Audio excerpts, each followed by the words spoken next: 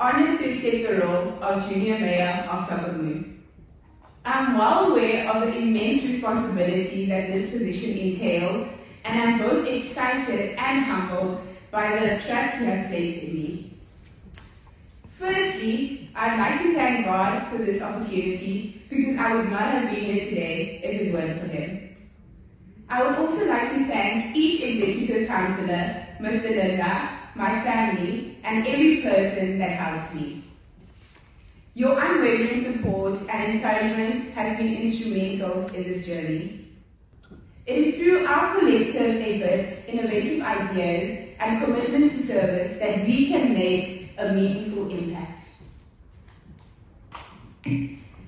Serving on the JTC is not only a privilege, but also a tremendous opportunity to contribute to the growth and social development of our beloved town.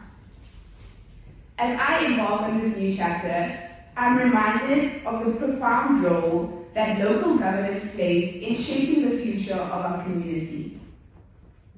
I'm committed to work diligently and collaboratively to, to address the needs and aspirations of every youth and to uphold the values of transparency, integrity, and dedication in every action and decision.